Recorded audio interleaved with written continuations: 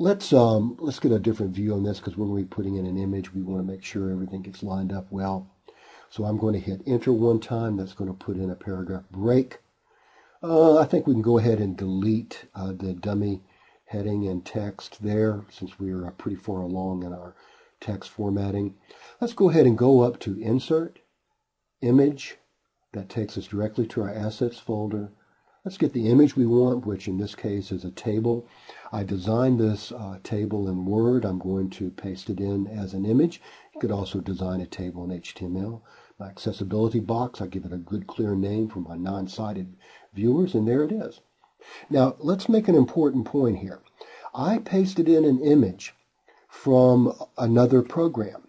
And whenever you start pasting in images from different programs that you've created, those images haven't necessarily been formatted for viewing on the web. If you create a big old TIFF image in Photoshop or a big JPEG image in PowerPoint or Word, those are going to be big old honking images that are, are going to slow down your website and interfere with your learner's experience unless you optimize those images for web viewing. So let me show you how to do that in Dreamweaver. The first thing we want to do is to make sure we have our image selected. And we're going to go down and click on Edit Image. The Edit Image pane comes up. As you see, we've got a big old preview there. Take a look at what we've got up there. So look at those uh, numbers up there. As of now, our image is 33.28K and that image would take five seconds to download on the slowest bandwidth out there, which is 56K dial-up modem.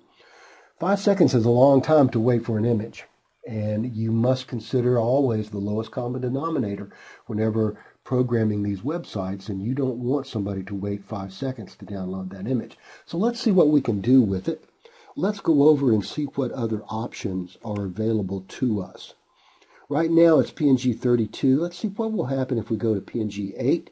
Wow, that takes it down to 16K, cuts it in half, and it will take only two seconds to download.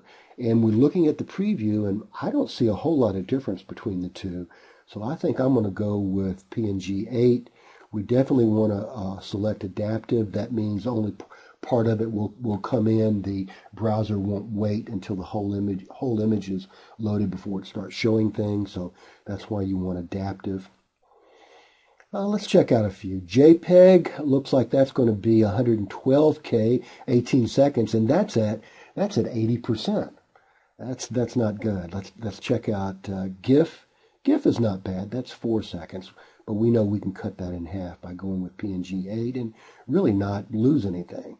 So let's go with that, PNG8 adaptive. And uh, we have now optimized that image for viewing in a web browser.